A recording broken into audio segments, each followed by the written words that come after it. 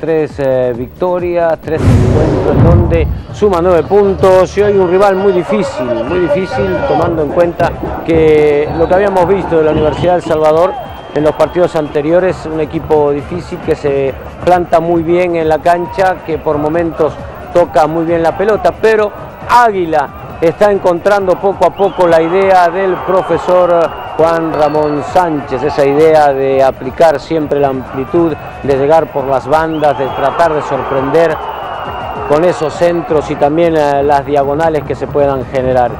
Ahí estaba Edgar Alonso Enrique, sabe que cada uno de los partidos que juega son finales distintas y que tiene que, tiene que intentar al menos ganar para darle un poco de ayuda, ¿no? de oxígeno a sus jugadores que hasta el momento solo han visto derrotas, no suman ningún punto y además que están complicadísimos con el descenso. Aquí una pelota al espacio, viene la chique de Benji Villalobos, ¿no? una águila que iba a encontrar ya prácticamente sobre el final el único gol del partido, tres puntos que nos mantienen en el liderato. Guada por el sector de la derecha, otra vez la amplitud, va a venir el centro, prolongación, no puede el jugador de Águila, la bronca de Quito Enríquez, el achique de Douglas Batres y luego va a venir esta pelota sobre el centro, mantiene muy bien el disparo y el esférico que se va ligeramente desviado.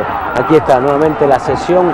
La Universidad del Salvador en el fondo se había perdido totalmente, el retorno tardío de los volantes, el disparo de Nico Muñoz que parecía incrustarse arriba de la portería de Batres, pero se iba desviado, un disparo sin consecuencia fácil para el arquero Benji Villalobos.